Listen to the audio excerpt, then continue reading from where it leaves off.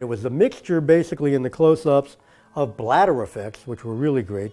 Rob Bottin had been working with Rick Baker, and uh, I think they were developing and, and, using a technology like this, which is one of the reasons why uh, American Werewolf and the Howling technologies, which, because these pictures came out, you know, around about the same time, and uh, they reflect this technology. Uh, so that's one thing. The other thing is uh, is actual mechanical heads where the actor is completely replaced by a mechanical head. Uh, for example, if you see Eddie Quist's transformation in The Howling and you see his snout growing and growing and growing and growing, that's a, uh, a, a, mechanical head that was designed specifically for that moment.